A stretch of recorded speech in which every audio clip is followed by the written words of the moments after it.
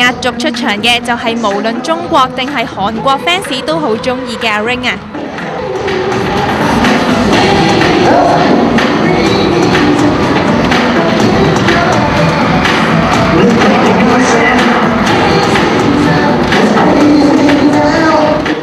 한중 관계가 너무나 자연스럽고 그리고 모든 사람들이 행복하게 이렇게 수교를 할수 있다는 것이 너무나 자랑스럽고 행복하고요. 앞으로도 이렇게 한중 간에 좀 많았으면 좋겠고 더욱더 자연스럽고 행복한 그런 수료가 됐으면 좋겠습니다.